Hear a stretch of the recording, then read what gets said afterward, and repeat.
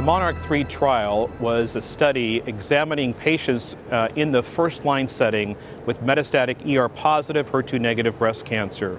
The standard of care for many years has been hormonal therapy uh, with uh, uh one of the aromatase inhibitors. And in the Monarch 3 trial, uh, patients uh, were randomized to either standard of care, either letrozole or aromatase inhib- or anastrozole, or the uh, aromatase inhibitor plus abemaciclib.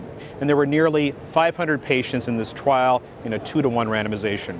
Previously, uh, uh, this study, had, we've demonstrated that the addition of abemaciclib to aromatase inhibitors significantly improved progression-free survival, and that's led to global regulatory approval.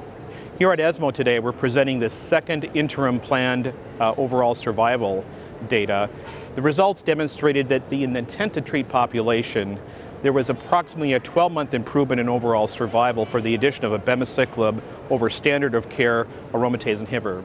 However, although the p-value was less than 0.04, this did not uh, cross the stopping boundaries. Therefore, at this time, we continue to follow patients and we expect a final overall survival results to be uh, in 2023.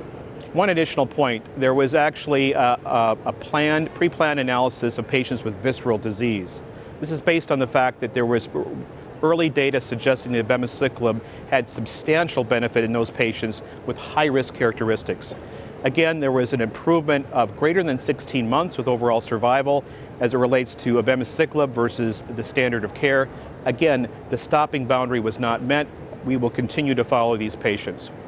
With regard to safety, no new safety signals and, uh, with regard to what has been published in the past. So at, at this point, uh, we uh, are, can say that the uh, overall survival data are maturing quite favorably, and we expect the final overall survival results uh, to be in 2023.